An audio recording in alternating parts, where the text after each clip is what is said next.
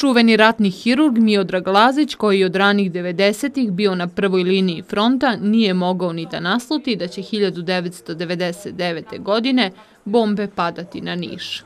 Ranjeni su ležali po hodniku na ulazu, e, tu smo intervenisali. Znači, jedan užas i to se možda pamti kao nešto najgore i najteže. E, ja sam četiri godine proveo u ratu, vodio bolnicu jednu pored Sarajeva gdje je prošlo 15.000 ranjenika. Imao sam veliko iskustvo, ali ono što se kaže, već sam bio i profesionalac u tom delu posla, dok e, ljudi, sestre, doktori, bolničari koji se zatekli ranjenici, oni su bili isprepadani jer to su doživjeli prvi put. Pa- 24. marta seća se kao da je juče bilo. Te noći bio je dežurni hirurg. Sve je bilo unapred pripremljeno za zbrinjavanje prvih ranjenika. Kad je tu noć počelo bombardanje, cela ekipa koja je trebala da bude tu, ona je bila za 15 minuta u kliničkom centru, znači druga ekipa je čekala, to je pola, hiruš, pola hirurga, više od, znači to ako je u to vreme bilo ne 70 hirurga u kliničkom centru, 30-35 hirurga je već bilo u kliničkom centru, druga polovina ako bi bila potreba došla bi. 24. mart dobro pamte i sve nišlije. Šta je sa svetom, poludelim, da bacaju bombe na nevi narod?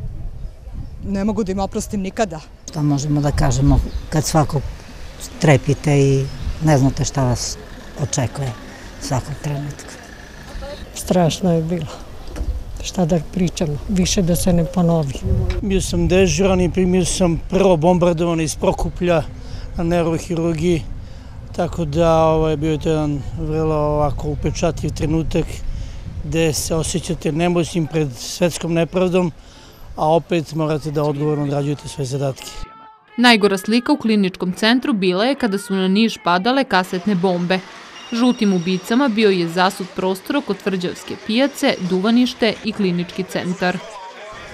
Jedan od najstrašnijih dana koji će Nišlijama svakako ostati zauvek u sećanju je 7. maj 1999. godine kada su kasetne bombe bačene na prostor oko Tvrđavske pijace.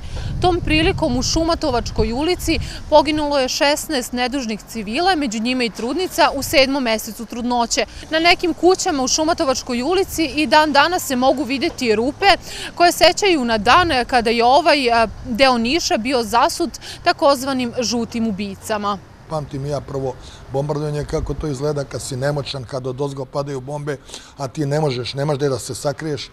Tako da je to jedan užas. E, stradanje, mrtvi, teško ranjeni, raskomadana tela i strah. Strah u očima svih.